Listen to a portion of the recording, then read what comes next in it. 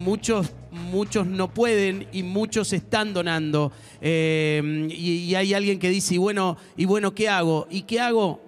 Y como nos pasó todo este año, hacemos lo mejor que podemos con lo que hay, porque lo que hay me parece que no, no- no le gusta a nadie, a nadie, y, eh, eso es obvio, pero, pero nadie lo está pudiendo llevar de un modo este, bueno, de una... Bueno, de la mejor manera que se pueda. Agradecemos mucho que estés ahí, agradecemos mucho tu ayuda y esa ayuda son proyectos. Son proyectos que, hace UNICEF. Acá estamos con Sebastián, estamos con Juan Pablo de Cáritas y vamos a ver unas imágenes que nos presenta Sancor Salud, eh, que nos acompaña y presenta los proyectos de UNICEF en Argentina. Tu ayuda, toda la que estás dando, que no se puede, que no se puede creer, es para esto.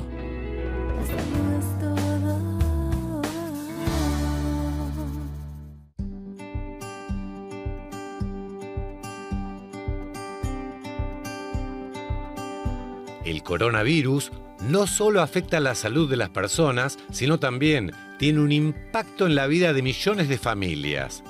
UNICEF, junto a Cáritas Argentina, trabaja para garantizar el derecho a la alimentación de las familias con niños y niñas y prevenir el contagio de COVID-19 en comunidades vulnerables de todo el país.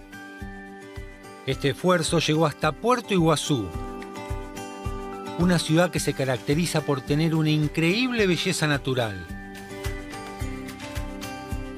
pero también convive con situaciones de pobreza agudizadas por la pandemia.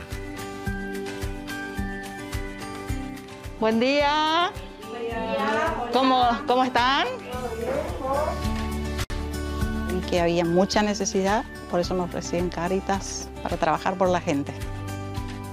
Los bolsones llevan azúcar, harina, leche, puré de tomate, sal, fideo, arroz, que llevan poroto, polenta. También sumamos eh, elementos de limpieza, así como lavandina, detergente, jabón común, eh, alcohol en gel, repelente. También entregamos los folletos de UNICEF con informaciones de cómo llevar una sana nutrición y la lactancia materna.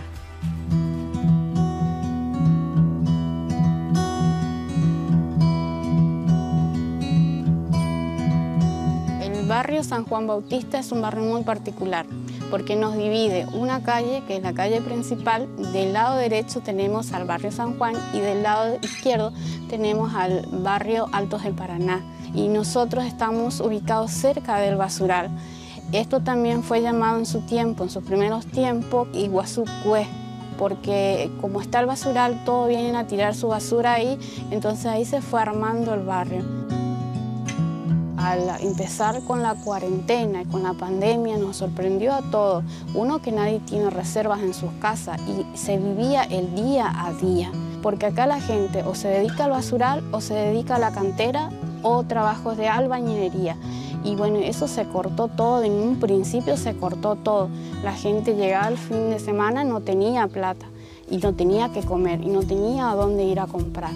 Fue y está siendo muy difícil, entonces nosotros siempre estamos tratando al menos de que eh, el niño tenga su copa de leche, una rica comida nutritiva.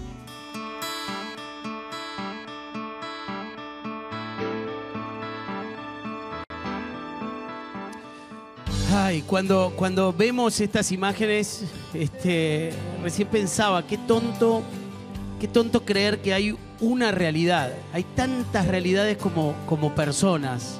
¿No, Sebastián? ¿No, Juan Pablo? Sí, eh, es una situación muy difícil. Hay muchas familias uh, hoy en Argentina que, que la están pasando mal. Uh, vamos a terminar 2020 con más de 8 millones de chicos y chicas viviendo en la pobreza. Y este proyecto y este tipo de proyectos, esta alianza que tenemos con Caritas justamente busca paliar una de las cuestiones más difíciles que tenemos, que es justamente que, que cada uno de estos hogares tenga un plato de comida, tenga elementos de higiene, eh, pueda prevenir, digamos, diferentes cuestiones vinculadas a la pandemia.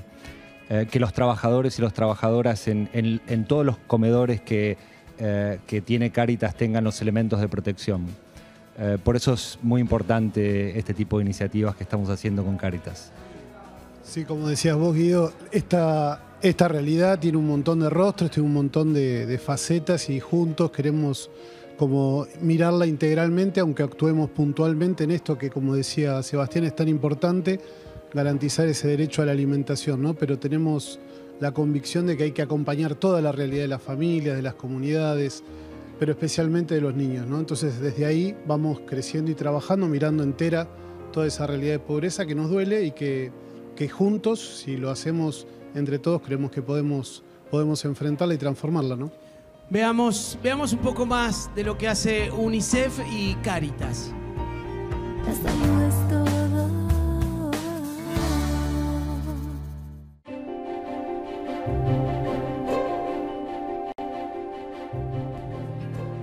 ¿Cómo estás, Nilda? te traemos esto y te entrego ya porque es bastante pesado.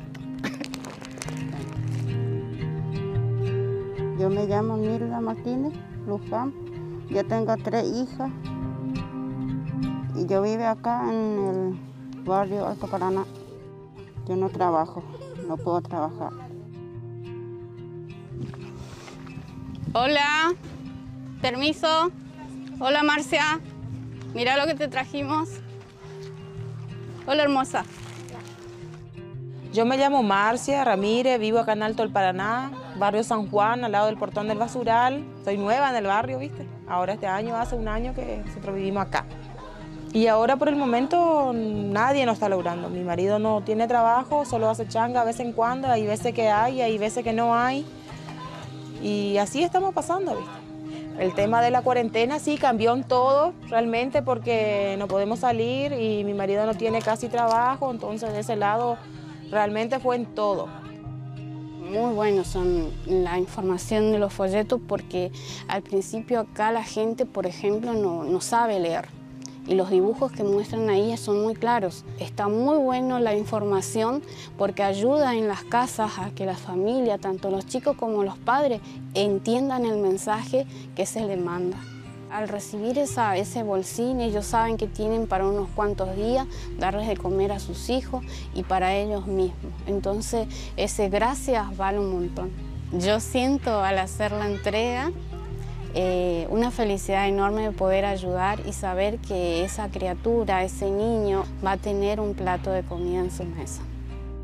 Siempre estoy pidiendo a la gente que donen, que donen a UNICEF y que también que confíen que todas sus donaciones llegan a la gente.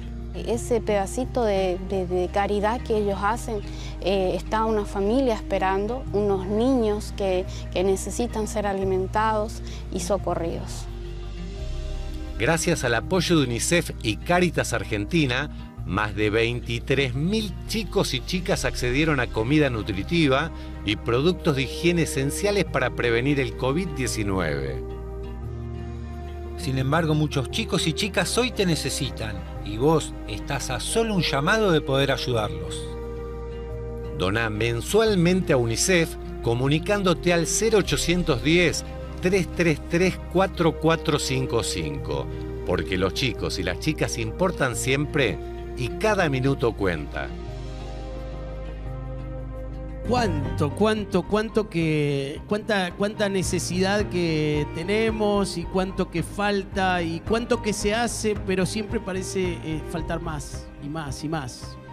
Así es, pero te, diría y sería lindo dejar este mensaje, ¿no? Que falta mucho, pero también hay mucha solidaridad y mucha generosidad y queremos como también agradecer, ahí veíamos los rostros de los voluntarios, las mm. voluntarias, de las personas que acuden como la sangre a la herida apenas algo está doliendo y nos parece importante ¿no? seguir dando este mensaje junto con UNICEF de que hay que enfrentar juntos porque vamos todos en la misma barca. ¿no? Sí, claro, claro. Y además este, somos, somos las, relaciones que tenemos y, cuando, cuando vemos estas imágenes nos damos cuenta que nadie, nadie puede estar bien, nadie puede estar bien si eso sigue pasando y tanto. Sí, sí, por eso, por eso es importante, digo, yo trabajo hace 12 años en UNICEF eh, y no hay palabras de agradecimiento para mm. el apoyo que tenemos de parte de la sociedad.